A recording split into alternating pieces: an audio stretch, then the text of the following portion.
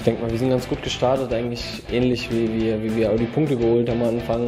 Ähm, ganz gut am Anfang und ähm, dann leichten Durchhänger gehabt. Auch ein bisschen mit Verletzungsproblemen zu tun gehabt, aber dann jetzt am Ende auf jeden Fall mit Aufschwung wieder in die Saison reingekommen, sagen wir es mal so.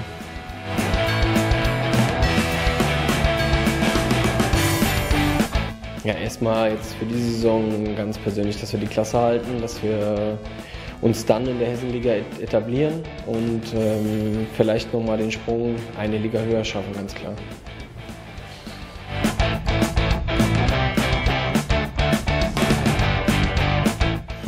Am liebsten würde ich einfach nochmal acht Jahre zurückgehen und nochmal Champions League spielen.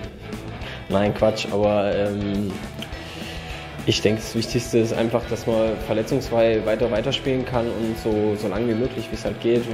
Über 30 am liebsten, dass man auch auf höchstem Niveau spielen kann und ähm, sich weiter immer fit hält. Das ist, glaube ich, das, das Hauptziel, was ich habe.